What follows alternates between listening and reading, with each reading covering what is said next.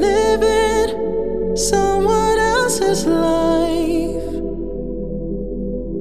suppressing who I was inside. So I throw two thousand ones in the sky. Together we're alone. Vegas, I feel so.